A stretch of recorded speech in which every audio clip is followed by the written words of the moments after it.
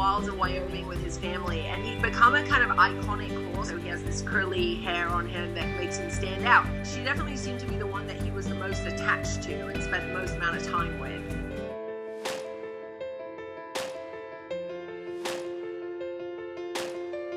The Bureau of Land Management, which is a government agency, they clear public lands of wild horses continually. We now have 50,000 wild horses standing in government holding paid for by taxpayers. You can see Goliath trying to keep between the helicopter, which the BLM used to drive the horses.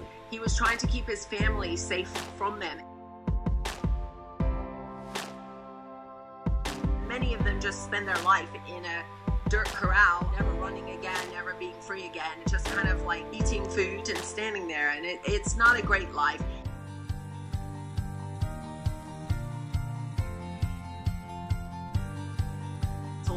Pieces just fell into place and we managed to win Goliath just due to hundreds of people standing up for him and donating everything from $1 to $1,000 to be able to bring him home. At the same time, the lady who had adopted Red Lady contacted us and, and also wanted to reunite them. So it was an amazing thing. Oh my gosh! Oh my god, I hope someone's filming this. I got it. We all Got do. it. Oh my gosh. When he saw her and he took off towards her, and she saw him, there was no doubt that there was a love there and a bond between them that was unmistakable. When she actually arrived with us, she didn't look pregnant. I mean, it could easily have been a little hay belly. Within a week of Goliath arriving, she just popped. There was no doubt she was about to have a baby. So it was beautiful to see that we managed to bring them back together and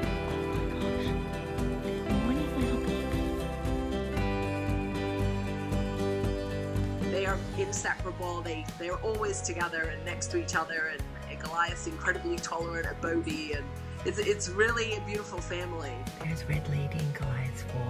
He's beautiful. He's a little boy. Bodhi's just like the most mischievous little thing, and he goes between his mom and his dad, and just is a super happy little baby, like he should be. At some point, we'll turn them out onto the 5,000 acres of the upper ranch, and they'll just live free, you know, and probably stay as far away from us as possible, which is fine with us too.